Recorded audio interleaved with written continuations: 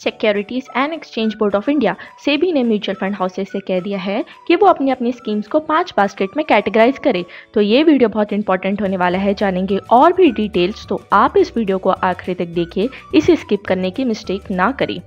तो सेबी ने mutual fund scheme के कैटेगराइजेशन और रैशनलाइजेशन पर सर्कुलर इशू कर दिया है मार्केट रेगुलेटर सेबी ने कहा कि एक फंड हाउस हर बास्केट में हर कैटेगरी का सिर्फ़ एक स्कीम रख सकता है। मतलब म्यूचुअल फंड स्कीम अब पाँच ग्रुप में ब्रॉडली क्लासीफाई होगा और वो पाँच ग्रुप हैं equity debt hybrid solution oriented और अदर स्कीम्स जैसे इंडेक्स ई ईटीएफ्स एक्सेट्रा अब पहले जैसे कि दोस्तों, एक एक कैटेगरी के सब कैटेगरी में बहुत सारे फंड्स होते थे, जैसे इक्विटी स्कीम्स के अंडर लार्ज कैप में एक एएमसी में काफ़ी सारे फंड्स होते थे। तो अब सेबी ने इन काफ़ी सारे फंड को मर्ज करने कह दिया है एएमसी से। म्यूचुअल फंड्स आप वन स्कीम पर कैटेगरी यानी हर कैटेगरी पर एक स्कीम ही लॉन्च कर सकती है एक्सेप्ट इंडेक्स फंड जिसका पोर्टफोलियो मार्केट इंडेक्स को ट्रैक करता है exchange traded fund E funds of funds sectoral funds जो स्पेसिफिक सेक्टर में इन्वेस्ट करता है, और थीमेटिक फंड जो सेक्टर फंड से थोड़ा डाइवर्सिफाई होता है।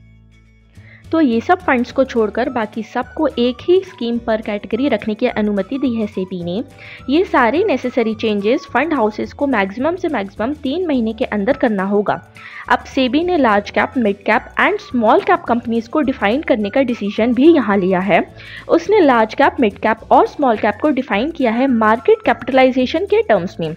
मार्केट कैपिटलाइजेशन मतलब स्टॉक मार्केट पर ट्रेड होती कंपनी का वैल्यू इसे आप ऐसे भी समझ सकते हैं कि किसी भी कंपनी के आउटस्टैंडिंग शेयर्स की मार्केट वैल्यू तो मार्केट कैपिटलाइजेशन के टर्म्स में top 100 companies large cap segment के अंदर आएगी, फिर 1012 टू टू आ जाएगी मिड कैप सेगमेंट के अंदर और 251 यानी 250 से ऊपर ऑनवर्ड्स कंपनी आएगी स्मॉल कैप के अंदर में मार्केट कैपिटलाइजेशन के टर्म्स में। अब इसके साथ साथ सेबी ने स्पेसिफिक स्कीम कैरेक्टरिस्टिक्स इक्विटी और डेप्थ स्कीम के लिए लाया है।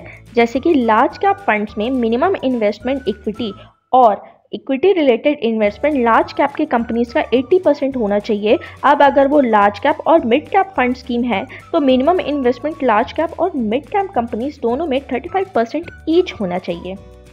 तो अब अगर पूरा एक साथ देखा जाए फाइनली कि सेबी ने क्या क्या किया है तो पॉइंट नंबर वन सबसे पहले तो म्यूचुअल फंड्स को क्लासिफाई किया गया है फाइव ग्रुप में equity debt hybrid solution oriented schemes जैसे रिटायरमेंट फंड चिल्ड्रंस फंड और अदर स्कीम्स यानी index fund E funds of funds etcetera फिर पॉइंट नंबर टू इन पाँच ग्रुप में, हर ग्रुप में सब कैटेगरीज है।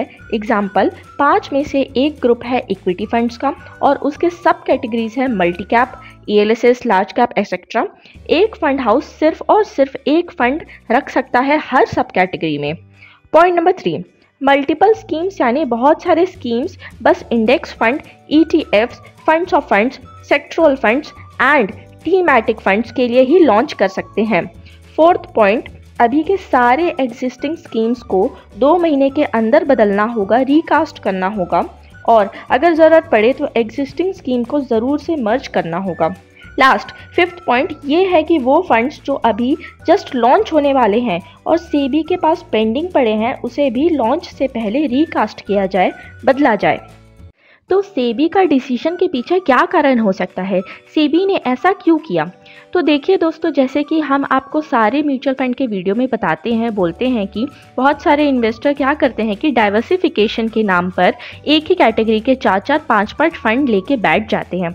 और उन्हें खुद ही को पता नहीं लगता है कि ऐसे में वो सेम कंपनीज़ के शेयर में बार बार इन्वेस्ट कर रहे हैं और उनका डाइवर्सिफिकेशन का ऑब्जेक्टिव भी पूरा नहीं हो रहा है। तो सेबी के ये स्टेप से इन्वेस्टर्स को डायरेक्ट फ़ायदा है, क्योंकि अब वो डाइवर्सिफिकेशन का बेनिफिट इंजॉय कर पाएँगे। अब दूसरा कंसर्न ये है कि बहुत सारे मतलब खूब सारे, लगभग 2000 के ऊपर स्कीम्स है अभी तो ये इन्वेस्टर्स के माइंड में कंफ्यूजन क्रिएट करता है। वो कंफ्यूज रहते हैं और डिसाइड नहीं कर पाते कि कौन सा ले। तो सेबी के ये स्टेप से बहुत सारे स्कीम्स में हमें मर्जर देखने को मिलेगा, जो कि इन्वेस्टर्स के लिए प्रॉफिटेबल होगा। अब उनके सामने इतने सारे स्कीम की बौछारें नहीं होंगी। सेबी का ये डिसीज़न डायरेक्टली और इनडायरेक्टली इन्वेस्टर्स की मदद के लिए है। आफ्टर ऑल इसका बेनिफिट्स मेन उन्हीं को ही है। तो दोस्तों, अभी और भी बहुत कुछ होने वाला है म्यूचुअल फंड इंडस्ट्री में।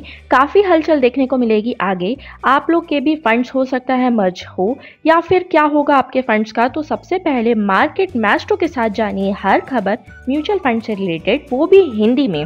हम सबसे पहले आपके लिए लाते हैं, आगे और भी बहुत वीडियोस आने को हैं। तो आपने हमें सब्सक्राइब नहीं किया है तो जल्दी से अभी कर लीजिए, बेल आइकन को भी दबा दीजिए। तो उम्मीद है फ्रेंड्स, आपको वीडियो अच्छा लगा होगा। वीडियो के लिए लाइक कीजिए शेयर कीजिए और नीचे कमेंट ज़रूर कीजिए आपके अपने थॉट्स और प्लीज़ सब्सक्राइब कीजिए हमारे चैनल को। सब्सक्रिप्शन बिल्कुल फ्री है। Thank you